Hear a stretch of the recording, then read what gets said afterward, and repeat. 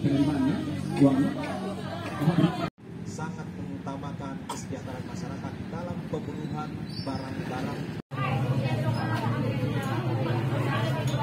oke di sini harganya berapa.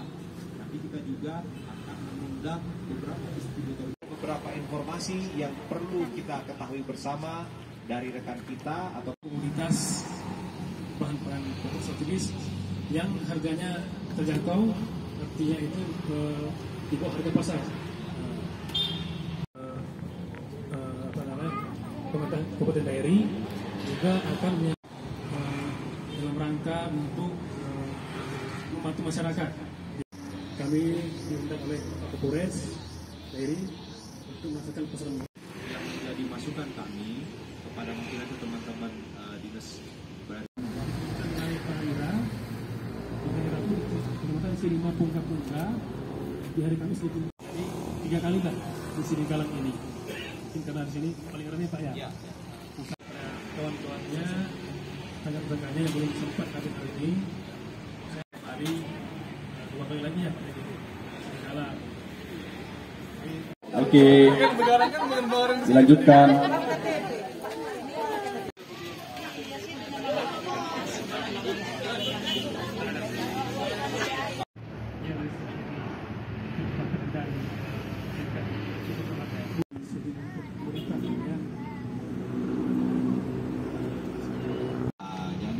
Terus dijual kembali. Nah ini rawan ini.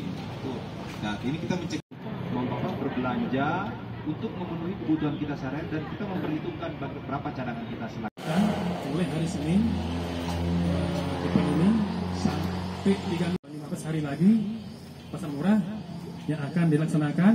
Izin saya baca. Tiga baru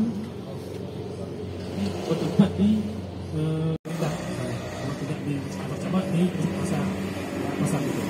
Yang kedua intinya kami dari apa, mengharapkan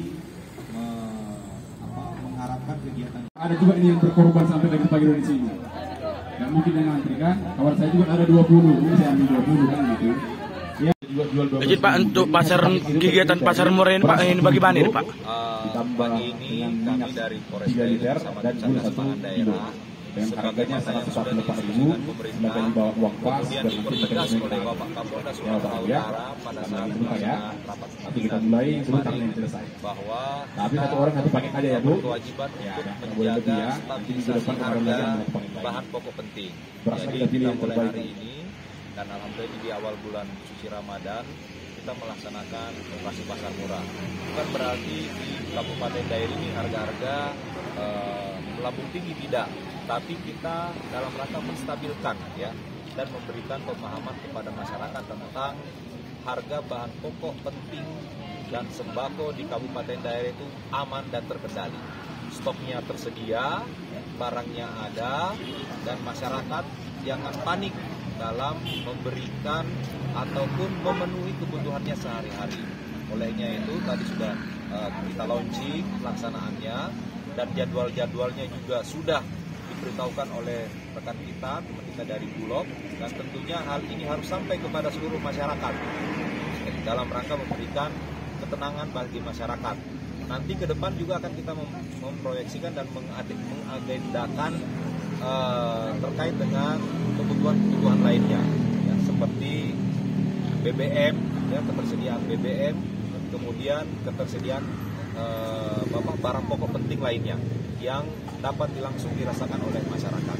Itu yang dapat dapat kami sampaikan di teman-teman verbal dan kasih. Terima ya? kasih.